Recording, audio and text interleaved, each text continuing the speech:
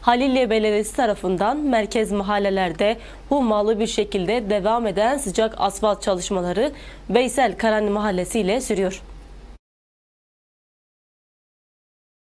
Haliliye Belediyesi Fen İşleri Müdürlüğü tarafından yürütülen asfalt atağı merkez mahallelerde devam ediyor.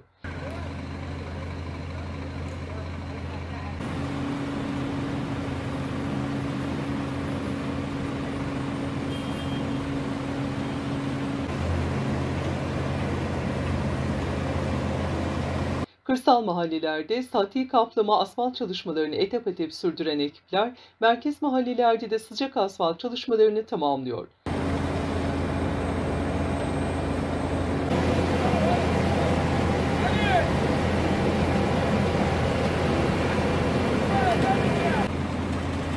Yapılan incelemeler sonucu ömrünü tamamlayan eski asfaltların sökülmesinin ardından düzenleme çalışmalarını tamamlayan ekipler altyapısı tamamlanan mahalleleri sıcak asfaltla buluşturuyor.